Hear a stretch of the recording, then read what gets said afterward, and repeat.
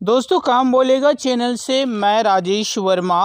अगर double door fridge use करते हैं और कूलिंग नहीं कर पा रही है तो मैं इस वीडियो में बताऊँगा डबल डोर फ्रिज के पीछे कूलिंग नहीं करने की कई बार काफ़ी सिंपल छोटी सी वजह होती है, जिसे आप खुद से बहुत सिंपल और आसान तरीके से सॉल्व कर सकते हैं। यहाँ फ्रिज के पीछे चेक करेंगे कि एक टाइमर लगा होता है, टाइमर की अटक जाने की वजह से जो कंप्रेसर है, वो नहीं चल पाती है।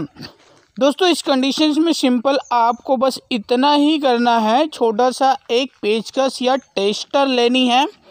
उस पेचकस या टेस्टर से आप अपनी डबल डोर फ्रिज की प्रॉब्लम सॉल्व कर सकते हैं। बहुत सिंपल बहुत आसान होती है। सबसे पहले तो चेक करनी है आपके डबल डोर फ्रिज में टाइमर कहाँ पर है। यहाँ पर हम देख पा रहे हैं जो टाइमर है, उस टाइमर में एक छेद की जैसे दिख रही है। चलिए मैं यहाँ पर दिखाता हूँ। ये देख पा रहे हैं आप। उसको थोड़ा सा और जूम करके दिखाता हूँ वीडियो। बिल्कुल ध्यान से देखिएगा। काफ़ी छोटी सी पेचकस लगाने के लायक ही जगह होती है, देख पा रहे हैं।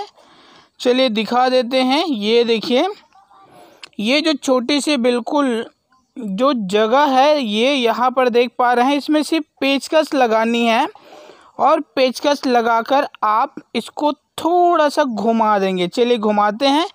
ये देखिए, इस तरीके से घुमा देंगे तो कई बार जो है, टाइमर अटक जाती है, जिसकी वजह से कंप्रेसर नहीं चलता है। तो टाइमर घुमाते ही जो कंप्रेसर है वो चालू हो जाएगी और फ्रिज कूलिंग करने लगेगी। दोस्तों, वीडियो अच्छी लगी तो लाइक से ज़रूर कीजिएगा। फिर मिलेंगे नए वीडियो में।